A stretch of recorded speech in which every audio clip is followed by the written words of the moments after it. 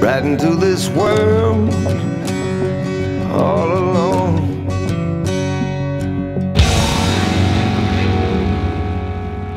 Show will drain you if you are not hitting the ground with a game plan. Three, two, one, action.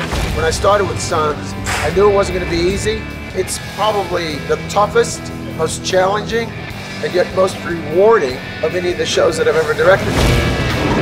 So here's the thing, when you got actors who are well oiled in a series like this, you really want to get out of their way.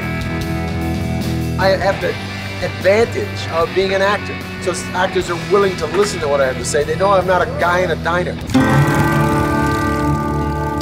So today, Jimmy Smits learns that he's been lied to, and Charlie Hunnam has had to lie to him. So there's a confrontation here. And action. It starts with a fight in the back.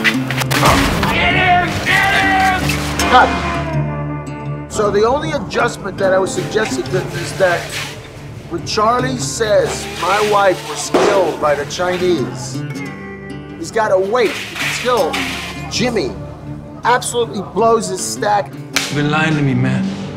And that's why all of our girls are getting stuffed in the goddamn bags right now. I suggested to Charlie, you know, wait until Jimmy like calms down before you lay that bombshell in on him. Action. Chinese kill Tara. Cut. This is a very volatile set. There's a lot of big emotions, a lot of big emotional scenes.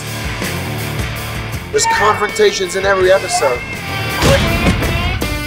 You know, 42 minutes of astounding acting drama. Scott, roll your camera. It is not for the faint of heart. You've got to be on your A game with Sons of Anarchy.